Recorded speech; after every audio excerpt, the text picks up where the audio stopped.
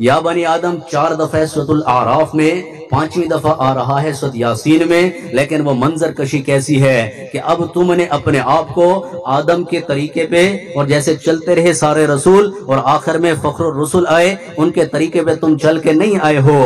तो अब भुग तो क्या? वम मुजरिमून, अलम आहद इलेकुम या बनी आदम। पीछे या बनी आदम कितने प्रोटोकॉल से आ रहा है? खुदू जीनतकुम। ए आदम की औलाद, मस्जिद आओ तो बन के आया करो। या बनी आदम कदन जलना अलैकुम लिबास युवारी सवातिकुम मरीशा नहीं समझ में आया? तो अब क्या है? अलम दिलेकुम या बनी आदम। अल्लाह शैतान, इन्नहु लकुम मुबीन। तुम्हें कहा गया था, शैतान के रास्ते पे न चलना और ऐसे फजूलियात तरीकों पे न चलते जाना। नबी की सुन्नतों को मूडते मूडते, कबर के गढ़े में न उतर जाना। ऐसे खाली हाथ क्यामत के दिन न खड़े होना।